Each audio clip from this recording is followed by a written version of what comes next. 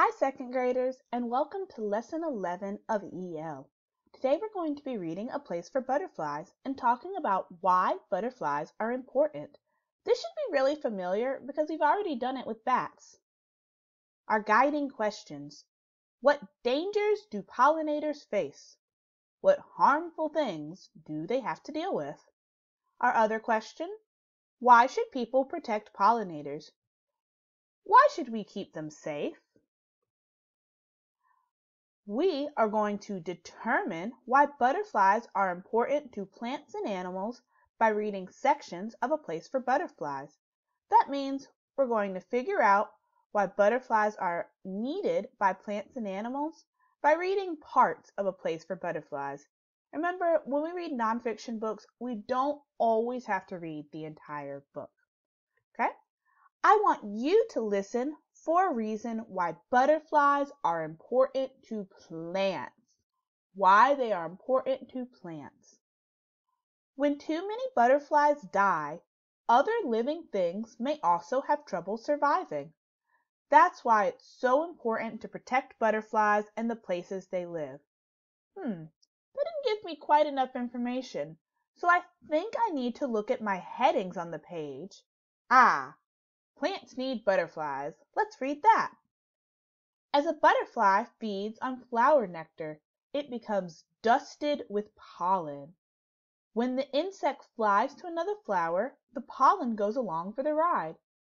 At the next stop, some pollen falls off the butterfly's body and lands on the flower. Then the plant can use material in the pollen to make seeds, which will grow into new plants. Butterflies and moths pollinate more plants than any other insect except bees. Without butterflies, some flowering plants might disappear from earth forever. What is one reason butterflies are important to plants? Hopefully you said butterflies are important to plants because they spread pollen from flower to flower. Without them, some plants could disappear. If you said that butterflies need plants to eat, that's true, but that does not tell why plants need butterflies. If you said that butterflies help birds find flowers, you probably just looked at the picture because the text doesn't say anything about that. All right, now we're going to listen for why butterflies are important to animals. Hmm, where on my page could I find that information? Oh, I know! Other animals need butterflies. Butterflies are an important part of the food chain. Caterpillars rarely gobble up enough leaves to kill a plant. As they eat, their droppings fall to the ground and add nutrients to the soil. That means that when the caterpillar eats and goes to the bathroom, its uh, waste it makes the soil richer for plants to be able to grow.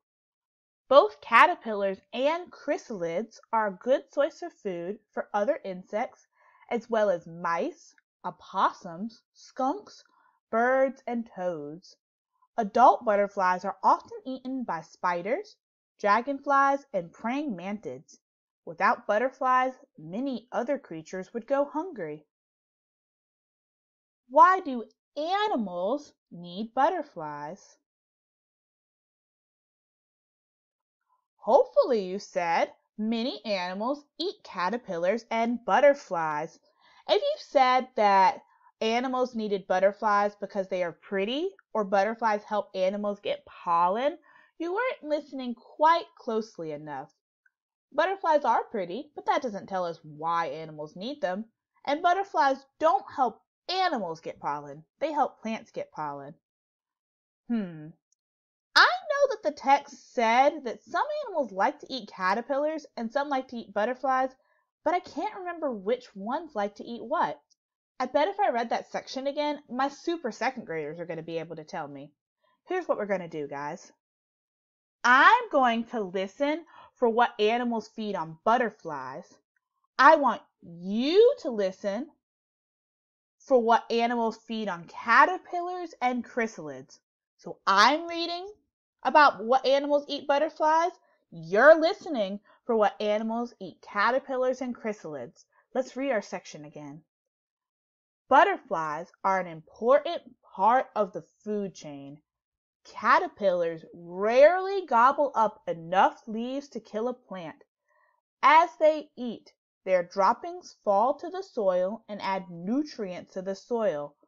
Both caterpillars and chrysalids are good sources of food for other insects as well as mice, opossums, skunks, birds, and toads.